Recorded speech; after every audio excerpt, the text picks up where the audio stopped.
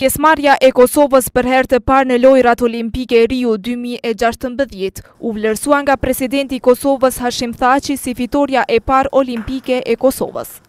U shpreh i bindur se sportistët kosovarë që do të marrin pjesë në këto lojëra do të kthehen si fitues dhe me medalje.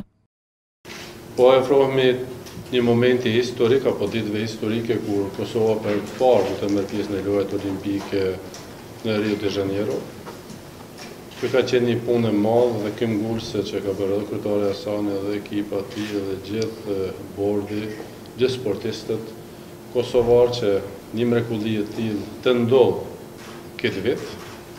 Natyrisht se kjo po ndodh pas përpjekjeve të shumta që kemi bërë, prandaj unë dua të besoj që jo vetëm që do të marrin pjesë në Rio sportistët kosovarë, por nga Rio do të kthehen edhe si fitues, do të kthehen edhe me medalje dhe jemi shumë me shpresë, shumë optimist dhe me besim plot se edhe mrekullia e fitimit të medaljeve do të ndodhë.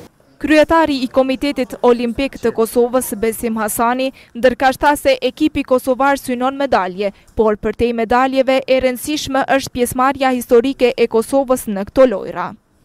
Kosova merr pjesë me tetë sportistë në këto lojëra olimpike, dy sportistë janë me normë olimpike që në mënyrë automatike na radhit në mesin e pesëdhjetë shteteve më të mira.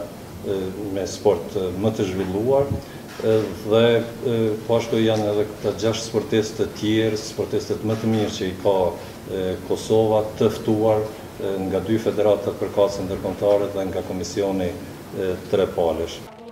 Hasani kërkoi mbështetjen e institucioneve të Kosovës pasi sipas tij është ndjenjë e mirë dhe motivim për sportistët kur përkrahen nga shteti.